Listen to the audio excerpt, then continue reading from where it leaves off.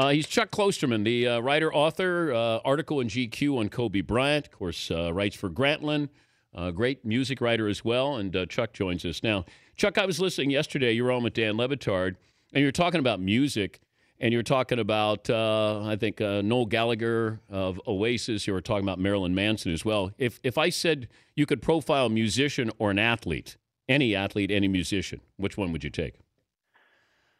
That's an interesting question. I think probably there are more musicians out there that I would be curious to hear them discuss the way they perceive themselves. Like if I could interview Axl Rose or Prince, I think that would probably be a little more interesting. Among athletes, Kobe is probably about as compelling as you're going to find um, in terms of his not just sort of his kind of natural intelligence and the straightforward way he sort of considers uh, how he is perceived and his interest in how people see him.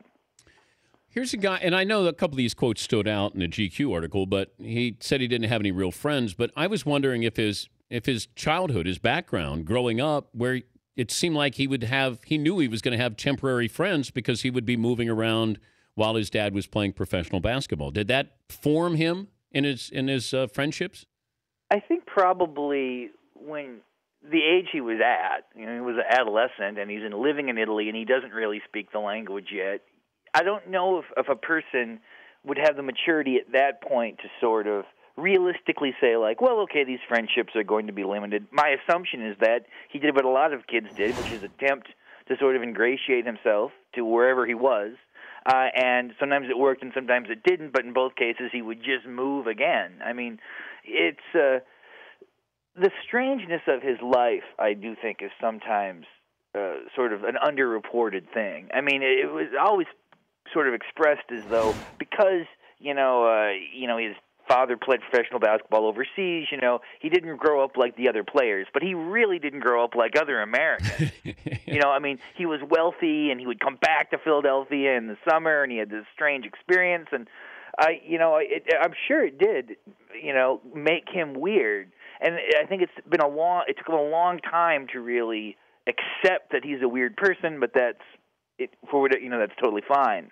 I remember being in San Antonio, and there was a party for Shaquille O'Neal, and I remember going to the party, and some of the uh, the, the Lakers were there, and I said, I jokingly said to Rick Fox, I said, "Where's Kobe?" He goes, "Kobe doesn't socialize with us." And it just struck me as odd that they said he's probably in his room right now. Yeah, you know, uh, I interviewed Steve Nash for Esquire uh, several years ago, and and you know, Steve Nash is not like Kobe. He seems to have good relationships with a lot of guys he plays with and stuff. But even he kind of conceded that just because his interests were different. Yeah. I mean, there, if you might recall this, there was a big story about Steve Nash in the New York Times. Um, he was reading the Communist Manifesto, and people always kind of brought this up that he was reading this book. But when you think about it, I mean, if you're in an environment around athletes, it might not be that just you have you know sort of different ideas about sort of what's interesting, but you might be perceived as being almost like, a, what are you trying to prove by mm-hmm. doing that? Like you could get ridiculed the same way a 14 year old does as an adult. Maybe that's what happened to Kobe when he was young. I'm not saying he was sitting around like, you know, reading Russian novels or whatever, but I, I wonder if if the other guys on the team were like, well, not only is this guy very confident to the point of arrogance, but uh, we can't even really joke around with him because he's just not like us. He's Chuck Klosterman, the uh, writer, author, the article on Kobe Bryant in uh, this month's GQ, joining us, Dan Patrick Show. You broached the, the topic of uh, the rape trial in Colorado with Kobe, and it, I don't know if, if um, he was open or welcoming it, but it felt like he wanted to get something off his chest. He'd feel like, I guess, unfairly uh, charged with that, but almost wanted to talk about it. I, is that a fair assessment, though, of the when, the conversation? Okay, well, going into this, you know, of course, I read many, many, many pieces about Kobe Bryant, and it, and he just never talked about the rape allegations anywhere. And and, to, and if it was, it was so glancing and so fleeting, it was almost like it didn't need to be in there and all. So my assumption going in was that this is just something he doesn't talk about. Um, now I suspect that maybe no one had ever really directly asked him about it before because early in our conversation, I was like, I just want to ask you the things that have been interesting to me about your life over these last two decades. Just I don't want to pretend like we're having some kind of interpersonal conversation or that we're going to become friends. None of that's going to happen. I want to just ask you these things. So maybe because I said that, he was like, well, certainly he's going to bring up the rape accusation because he actually brought it up first. Oh. Like I was going to ask it, but he made a reference to it before I did, and there, of course, you could go right into it once the guy does. You know.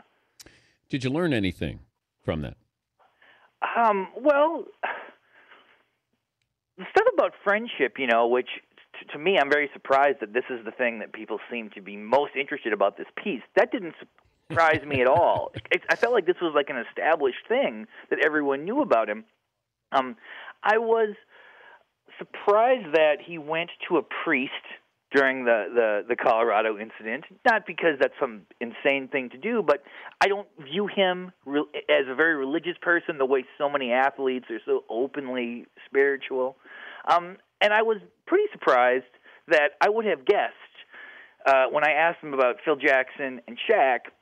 My assumption was going to be that he would maybe say negative things about Shaq, but ultimately say good things about Phil Jackson because I I always assumed that he viewed Jackson as a real important person in his life. But my sense is that he has uh, more animosity still now. I mean, going forward toward Jackson Mm. uh, because I think that he perceives Jackson not viewing him as sort of an intellectual equal, and I think Kobe feels that he is. Uh, final 30 seconds. Chuck, how does this end for Kobe?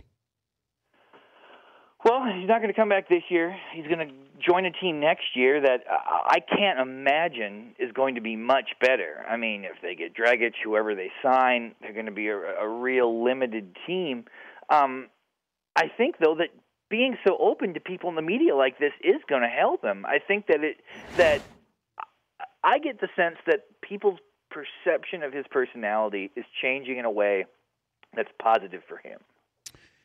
Uh, glad to have you on. Uh, next time we'll talk music. Okay, sure. I would love to. Thank you, Chuck. Bye bye. That's uh, Chuck Klosterman, the uh, writer, author, uh, the article in GQ on uh, Kobe Bryant.